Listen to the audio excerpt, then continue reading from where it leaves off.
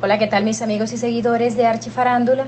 Les comento que Renzo, el reciente eliminado del desafío 20 años en día a día, tomó la palabra para referirse a la denominada maldición de Omega, en la que este equipo se fue desintegrando debido a que eran sus miembros quienes terminaban siendo eliminados. Renzo hizo hincapié en la manera que Omega cuidó a Beta como una de esas erradas estrategias. Renzo, quien precisó la cantidad con la que salió y lo que piensa hacer con el dinero, pues tiene en mente hacer una remodelación en su apartamento. Además quiere viajar con sus hijos y con Anamar, con quien sostuvo una relación dentro de la competencia. Y de hecho fueron los primeros participantes de la edición en inaugurar el cubo. También habló de Beta, que Beta está pagando todo lo malo que le hizo a Omega, que ellos están tomando de su propia medicina.